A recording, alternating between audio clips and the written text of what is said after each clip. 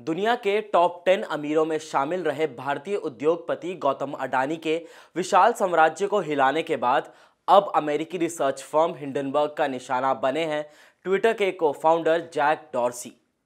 Short seller firm Hindenburg research ने Jack Dorsey की company block ink पर अपनी रिपोर्ट पब्लिश कर दी है और इस रिपोर्ट में जैक डॉर्सी की कंपनी पर कई गंभीर आरोप भी लगाए गए हैं। नमस्कार, मैं अमित दीवान और आज बात हिंडनबर्ग की उस रिपोर्ट की, जिसने ट्विटर के पूर्व सीईओ जैक डॉर्सी की संपत्ति पर बड़ा असर डाला है। और रिपोर्ट आने के बाद जैक डॉर्सी 52.6 करोड़ डॉलर्स गवा चुके हैं। चलिए जानते हैं वो कौन से पाँच सबसे बड़े आरोप हैं जो हिंडनबर्ग ने जैक डॉर्सी की कंपनी ब्लॉक इंक पर लगाए हैं। हिंडनबर्ग रिसर्च फर्म ने कहा है कि उसने जैक डॉर्सी की पेमेंट कंपनी ब्लॉक इंक के शेयरों को शॉर्ट किया है। हिंडनबर्ग की रिपोर्ट में पहला आरोप यह है कि ब्लॉक इंक अपने ग्राहकों और सरकारों के खिलाफ फ्रॉड कर रही है। शॉर्ट सेलर फर्म हिंडनबर्ग ने डॉर्सी की कंपनी पर गलत आंकड़े जारी कर निवेशकों को गुमराह करने का आरोप लगाया है और इसमें कहा गया है कि ब्लॉक इंक के आधे से ज़्यादा अकाउंट फेक हैं, जो फ्रॉड करने में शामिल है।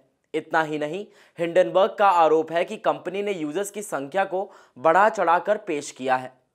हिंडनबर्ग ने अपनी रिसर्च रिपोर्ट में तीसरा बड़ा आरोप लगाते हुए कहा कि जैक डॉर्सी के नेतृत्व वाली ब्लॉक इंक कंपनी बैंकिंग की पहुँच से दूर रहने वाले लोगों को निशाना बनाती है और उनकी मदद के नाम पर शोषण कर रही है।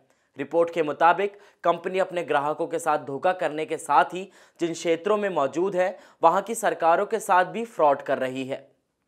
इस रिपोर्ट के मुताबिक, कैश ऐप के ज़रिए अपराधियों को फ़ायदा मिल रहा है। और इसमें यह आरोप भी लगाया गया है कि कोई भी फर्जीवाड़ा उजागर होने की स्थिति में उसके खिलाफ कार्रवाई के मामले में ब्लॉक ने बेहद गैर जिम्मेदाराना रवैया अपनाया है।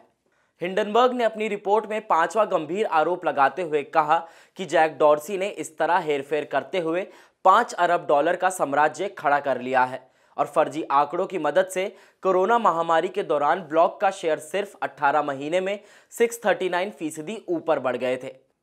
चलिए जानते हैं कौन है Jack Dorsey. Micro blogging platform के फाउंडर रहे जैक डॉर्सी ने ट्विटर की कमान छोड़ने के बाद ट्विटर को टक्कर देने के लिए नए प्लेटफॉर्म ब्लू स्काई को लॉन्च किया था।